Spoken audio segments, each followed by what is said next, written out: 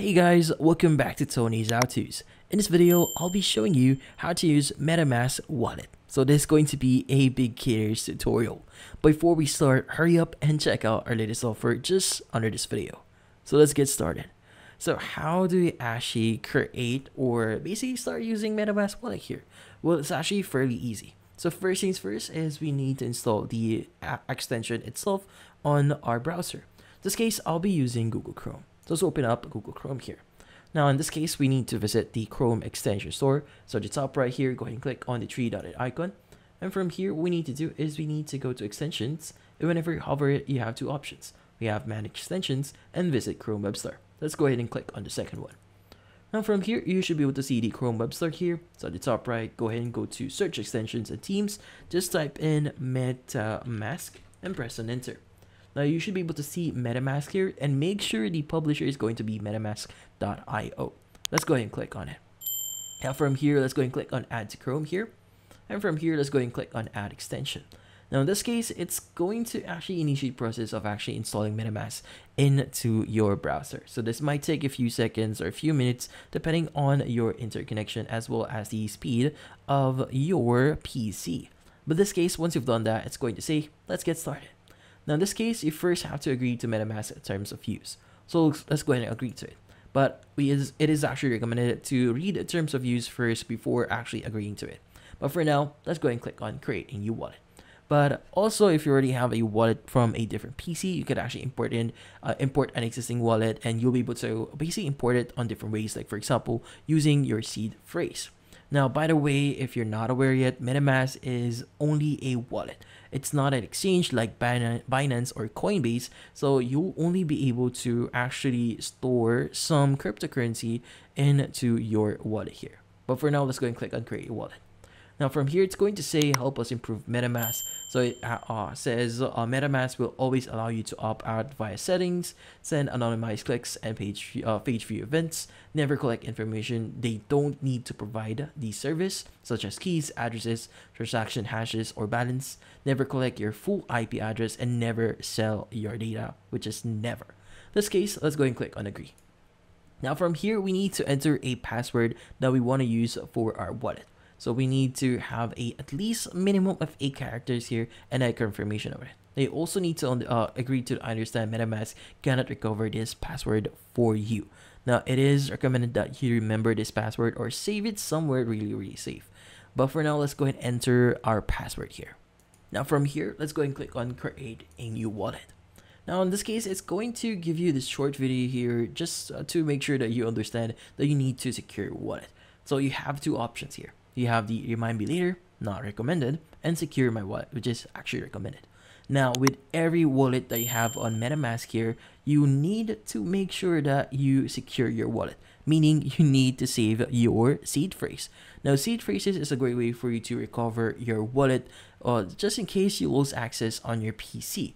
So in this case, once you click on secure my wallet here, it's going to redirect you to another section, which in this case, you'll be able to write down a 12 word secret phrase, recovery phrase for your account. So just in case you lose access on your uh, seed phrase or recovery phrase here, you'll be able to uh, basically secure your account. But for now, let's go ahead and click on reveal secret recovery phrase here for us to actually see it. Now, once you click on the reveal seed phrase here, you'll be able to see the seed phrases for your account. Now, it is recommended to write it, write it somewhere, save it on a Google Doc or somewhere it's actually pretty secure. But for now, let's go and click on copy to clipboard here and we'll be saving this in a document. Now on the next page, it's going to say you need to confirm your recovery phrase, which in this case, you just need to indicate what is the meaning secure uh, missing sec uh, secured recovery phrase here. So in this case, go ahead and type in whatever is missing here. So, so let's go ahead and do that. Now, once you complete that, it's going to say wallet creation successful. So let's go and click on got it. Now from here, it's going to say your MetaMask is on uh, MetaMask install is complete. Let's go ahead and click on next. And from here, your MetaMask install is complete though you could go ahead and click on done. Now, for you to access your uh, your specific assets here, you need to basically access the extension itself. So whenever you see this pop up here, you could either choose enable smart transactions here or not right now. But for now, I'm going to click on not right now. Now from here, you should be able to see your Chrome extension here, which is MetaMask. Now also alternatively, you can actually access this at the very top here. So let's go and click on our extensions here and click on MetaMask. Now you should be able to see the pop-up for MetaMask here, which in this case, just click on got it, got it, and from here, click on got it. Now it might give you some tips here on how to use it, but in this case, go ahead and just follow the uh, uh, pop-ups here or read through them just to make sure that you know everything here. But in this case, as you can see, we already have our wallet here. So how do we start using it? So in this case, you could basically start using it as is. Like for example, if you want to send crypto, swap for it, or bridge, or basically view your portfolio here, you could uh, do it everything in here. But if you click on portfolio here, it should redirect you to the portfolio page here, which in this case, you'll be able to have a full view of your portfolio. In this case, the first thing you'll see here is going to be your dashboard. So dashboard will contain all the general information about your account, like for example, buying crypto, sending crypto, and stake crypto. Now we also have the Explorer page here, which in this case lets you explore on cryptocurrency, like the news right now, trending NFT mints, el eligible airdrops here, and features like partner tax providers, and a lot more. Also, you'll be able to see some tokens here, like the trending tokens right now, which is currently, as of this moment, it's going to be so TRB, front and Solana. Sola. So Pola. So in this case, uh, if you visit the other sections here, like for example, buy, which in this case allows you to actually buy crypto. So in this case, you have the access to hundreds of tokens on 15 chains. So let's go ahead and click on get started. Now you first need to choose your location. So let's go ahead and choose our location here. And from here, what we need to do is we need to select a payment. Now, depending on the location that you'll be choosing here, you'll be able to get different payment methods. So for example, in the Philippines, you actually have Gcash here, which is a great way for you to start buying some crypto. Now you also have Maya, GrabPay, or the usual or the traditional one here, which is debit or credit. Now you also have the option to start selling here if you want to. By the way, uh, buying crypto here is actually pretty easy. Just click on continue, indicate how much you want to buy. So for example, let's go and just continue that. Just need to indicate what you want to buy, the cryptocurrency you want to buy, and provide all the details required here. Now also you'll be able to see what's uh, the current uh, trading here. So for example, around 2,751 Philippine peso here is around 0.01 ETH, which is a lot. Now, this case, uh, let's go ahead and go to the sell section here. But again, if you want to continue, just click on connect MetaMask here and allow MetaMask to connect into your account and proceed to the payment. Now we also have the sell here, so you first need to actually have an account here.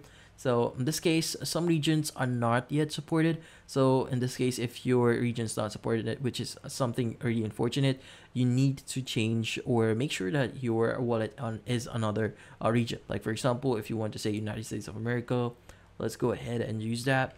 Just an example. So let's go ahead and choose this one.